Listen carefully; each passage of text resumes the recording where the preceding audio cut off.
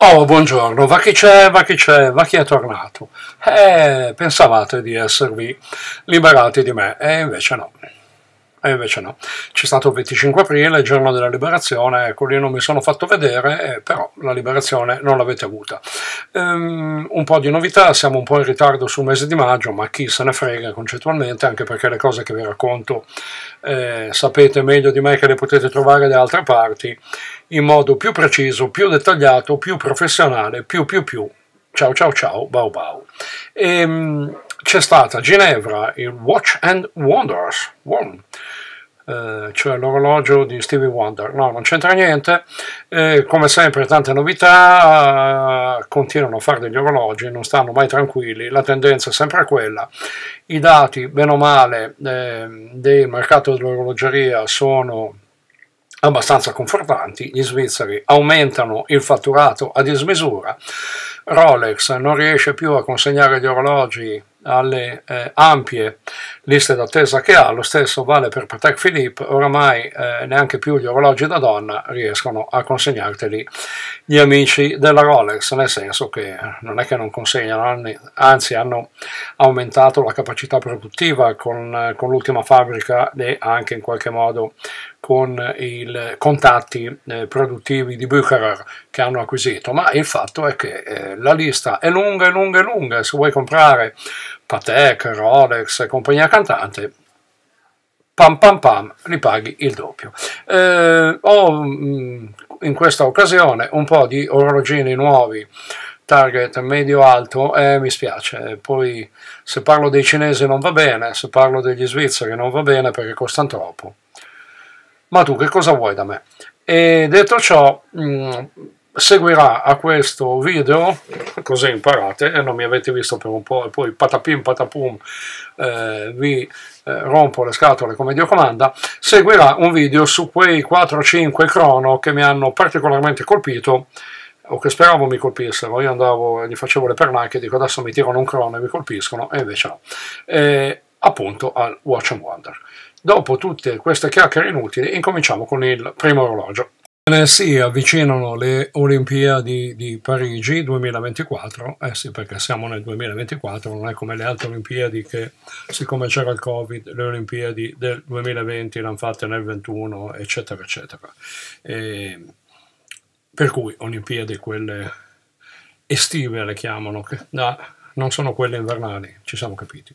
Come sempre Omega, Omega o Omega, che è il eh, servizio di cronometraggio ufficiale dei, dei 33 giochi olimpici di Parigi, eh, fa eh, un orologio ufficiale, eh, in questo caso è eh, uno Spinmaster e ha presentato appunto lo Spinmaster Chronoscope Parigi 2024 edizione speciale.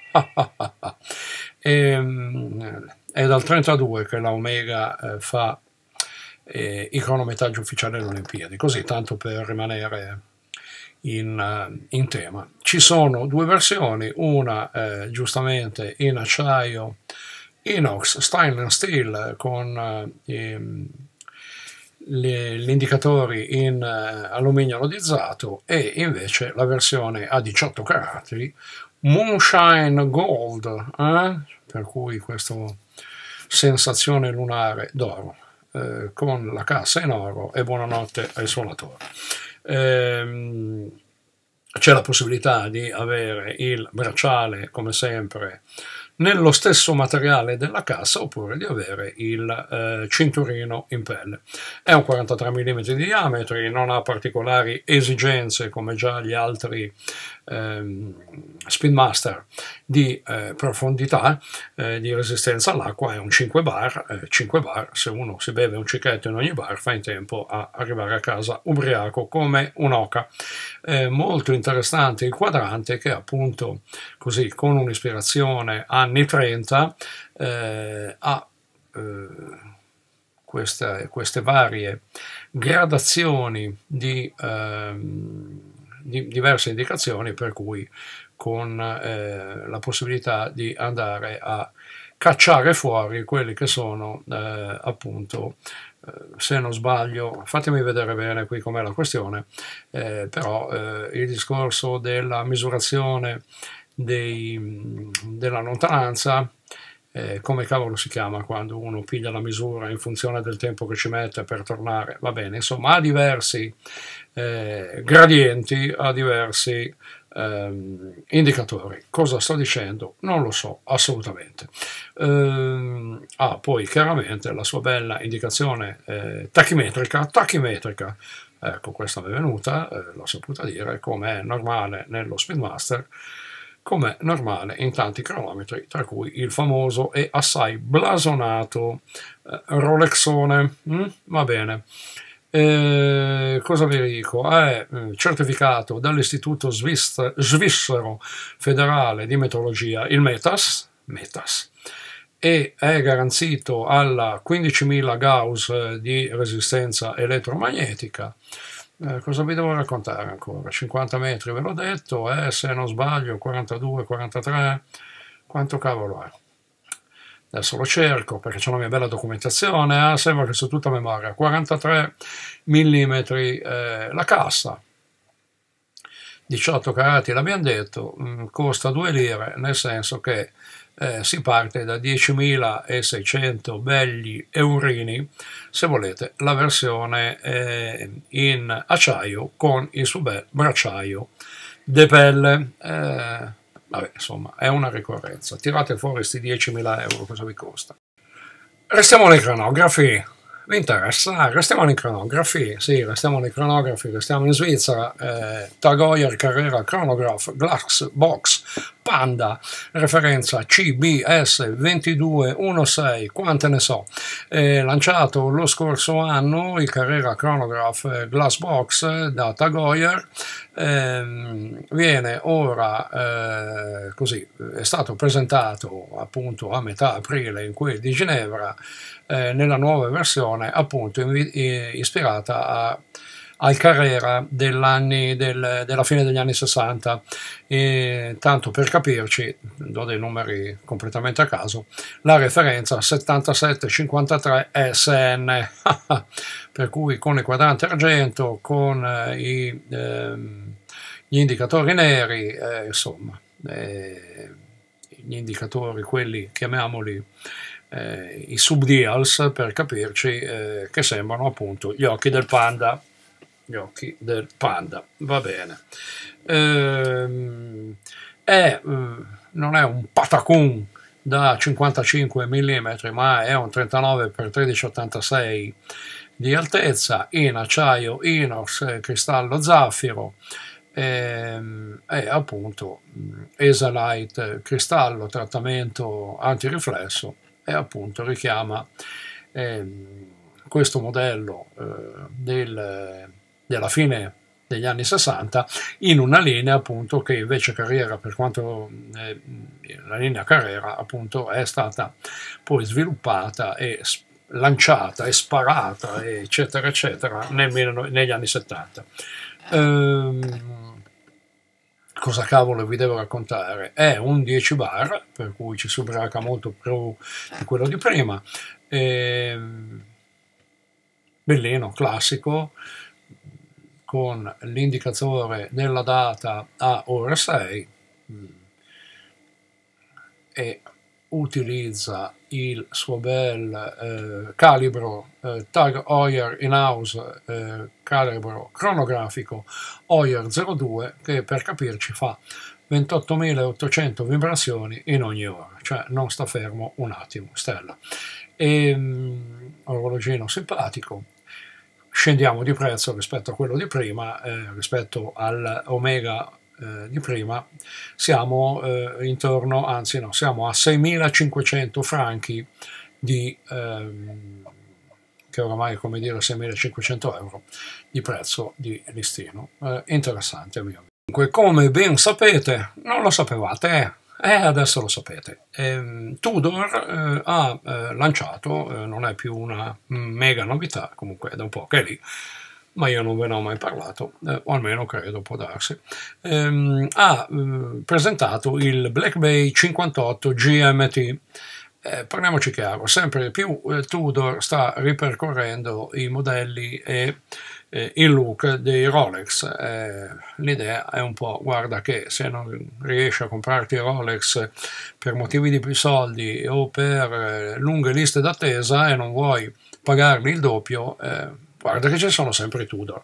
Ehm, rispetto così all'impostazione originale degli anni che furono, quando Tudor doveva essere un pochino eh, la marca eh, più abbordabile e più, a, eh, più, del popolo, chiamiamola così, eh, i signori della Tudor e i signori della Rolex, evidentemente, come ben sapete sono la stessa roba, eh, stanno appunto eh, abbastanza affiancando le linee. Comunque hanno fatto questo simpaticissimo GMT eh, rosso e blu, dico bene?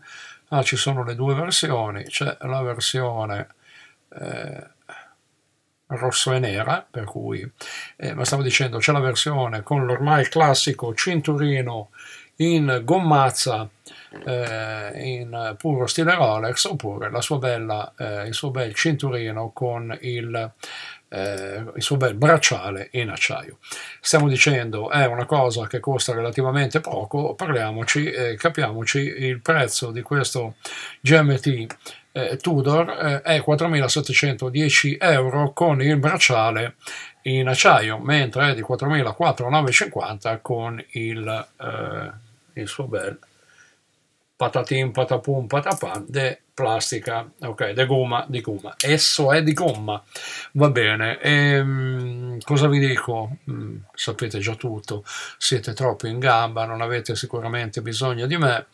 Eh, va bene, ah, una waterproof, una resistenza a 200 metri, eh, ricorda un modello degli anni 50, questo è in 39 mm eh, che era in 39 mm, questo invece facciamolo un pelino più largo, è in 41 mm. Essendo un GMT c'è la sua bella, eh, come si chiama, la sua bella, oh mamma mia come sono messo, la sua bella scala rotante, la sua bella ghiera rotante eh, delle 24 ore, 200 metri l'abbiamo già detto, anche lui è bello bello COSC, sapete che COSC eh, sono laboratori di certificazione che stanno inside, dentro dentro alla, eh, alla Rolex. Ce l'hanno lì, è comodo, non devono spendere soldi del gasolio per andare eh, con la Euro 2, eh, perché questo si possono permettere, a portarlo a fare la certificazione. 65 ore di riserva di calibro, di, di calibro buonanotte, di, di, carica. Il calibro invece si chiama MT54 50U come Ugo, ok, con la, appunto con la, ehm, con la sua bella funzione GMT. Ehm, il movimento è prodotto nella appunto, fabbrica di eh, produzione dei movimenti Tudor eh, Kenesi Manufacture. che ne che ne so. Ehm, ho detto una eh, discreta scemenza perché eh, non è COSC, ma è Metas, anche lui. Eh, per cui, insomma, per cui, Master Chronometer Certification, Metas. Eh, però eh, eh, il... Um, ok, e comunque poi verificato e controverificato per un controllo che va da, eh, da 0 a più 5 secondi al giorno eh, appunto da COSC, per cui ci siamo. quante ne so, quante ne so. Eh, resistenza magnetica 15.000 Gauss. Cosa volete sapere ancora? Mm, niente di più. Ah, vabbè, dai, che ci siamo, ve lo racconto. Per avere la certificazione COSC, di cui parlavo più o meno in modo corretto, eh, bisogna essere eh, Swiss Manufacturing, ok? Eh, per cui conformi alle norme Swiss Made, che significa che, se non ricordo male, il 60% del valore dell'orologio, non del costo dei pezzi, eh, del valore, per cui c'è dentro design, c'è dentro eh, progettazione, insomma il discorso un pochettino più ampio, comunque deve essere Swiss Made.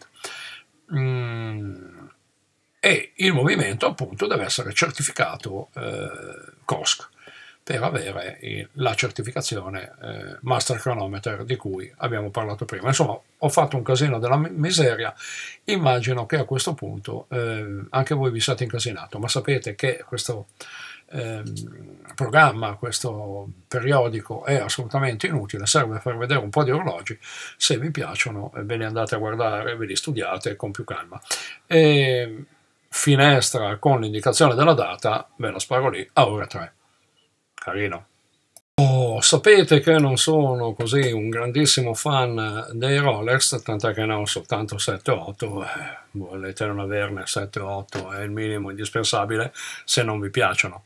Ci credete? Eh? Va bene, ok. E comunque, lo ammetto, questo presentato al Watch and Wonders di eh, Ginevra, appunto, eh, cioè il New Perpetual 1908 modello 950 Platinum, con il, ehm, con il quadrante, con la mitica, mitica insomma, con la eh, lavorazione cosiddetta guilloche, guilloche, guilloche, che ne so. E... Tanta roba. Eh, mi piace, mi piace, lo ammetto, mi piace, però mi piace. È un 1908 è la, mm, la nuova linea degli orologi eleganti Rolex che ha soppiantato e secondo me si è evoluta, eh, secondo me sono più carini in generale, del, la, la, linea precedente, cioè i Cellini. E... L'ho già detto che, l'ho già detto che mi piace, esatto. Eh, è un 39 mm di diametro eh, per 9,50 di altezza, eh, carino. Eh, il livello di lavorazioni eh, e di finiture è veramente notevole. Non è un orologio elegante, non ha bisogno di andare sott'acqua e resistere a delle pressioni esagerate, è un 5 bar, l'abbiamo già detto. Eh, versione Ice Blue eh, con appunto mh, mm, lavorazione guilloche a eh, chicchi di riso, eh? che è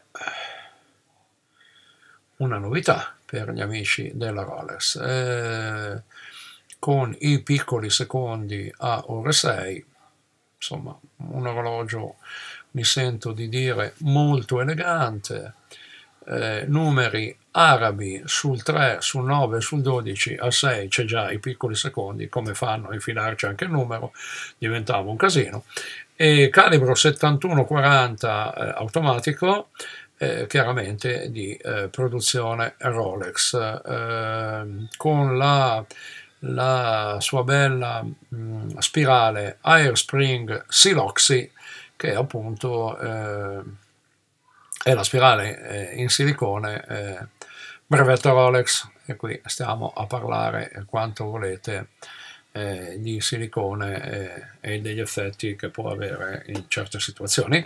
E, mm, ha un altro brevetto Rolex che è appunto eh, che l'oscillatore è montato sul eh, su un sistema di assorbimento anti-shock ad alte performance, eh, cosiddetto Paraflex. Paraflex eh? Va bene.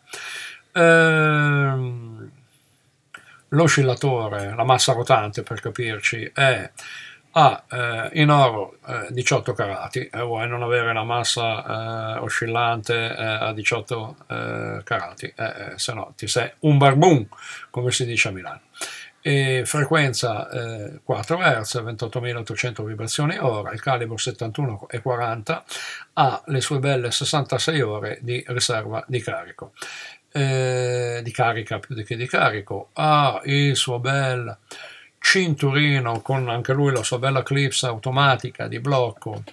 Eh, in pelle, pelle di che roba, di cucutrillo, di cucutrillo, di bestia assassina, calf skin, calf skin, vabbè, insomma, eh? ok?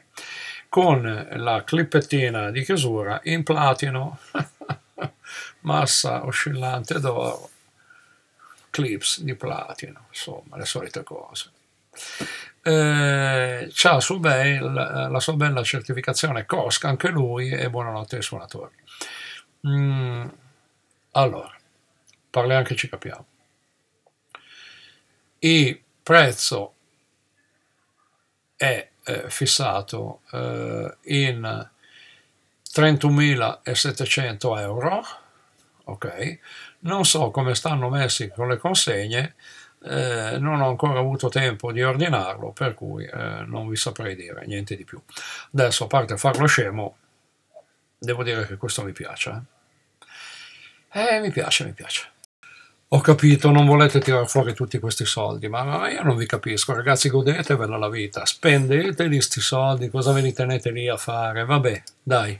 Allora, vi prometto che vi dico qualcosa di così, un orologio da poco, si fa per dire, perché ci vogliono 1925 euro per comprarsi eh, questo eh, Nomos Glaciute Tangente 38 data che è stato fatto così in qualche modo per festeggiare i 175 anni della manifattura Glashütte e cosa hanno fatto di bello? E che cosa sono andati a presentare tomo tomo, cacchio cacchio i nostri eroi tedeschi a Watch and Wonder appunto di Genève, tutto uno spatascio di nuovi colori, eh, ben 31 colori differenti di questo classico orologio, ma Ognuno di questi 31 eh, colori è in edizione limitata di 175. Che numero è? Che numero è 175? L'abbiamo detto prima,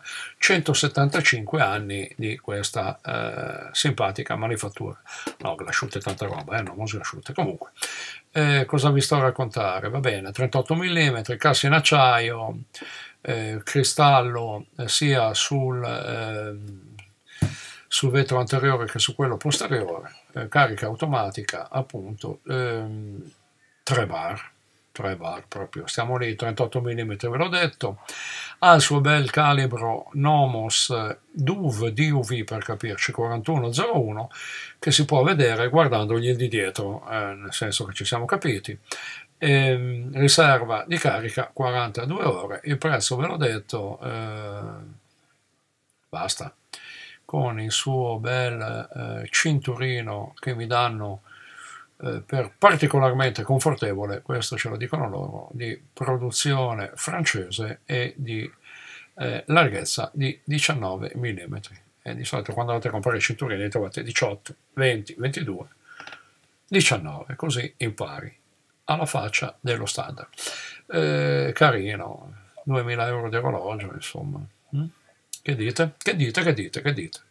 Bene, potevamo assolutamente piantarla qui, ma no, ma figuriamoci, perché insomma vi devo parlare di questa ulteriore presentazione del Watch and Wonder, è passato quasi un mese, per cui ormai l'abbiamo, come si dice, sedimentata, eh, di Cartier. Eh, Cartier che ha presentato, tra le altre cose, un cronografo bellissimo e, ripeto, a breve, a breve poi ne parliamo, eh, farò questo video sui cronografi di Watch and Wonders, Watch and Wonders, ok, ha presentato tra le diverse novità appunto un eh, Santos Dumont Rewind, Rewind, non Rewind che non si dice, ok? E vi do un po' di caratteristiche, è un orologio di forma 31,543 x 43,5, gli amici di Cartier amano gli orologi di forma, eh, i più storici sono praticamente tutti eh, appunto eh, quadrati o rettangolari e il richiamo di un famosissimo modello, il Cartier Santos, ok, è platino 950, spessore 7,3 mm, eh, con eh, una eh, corona con piazzati dentro dei cabochon, e va bene.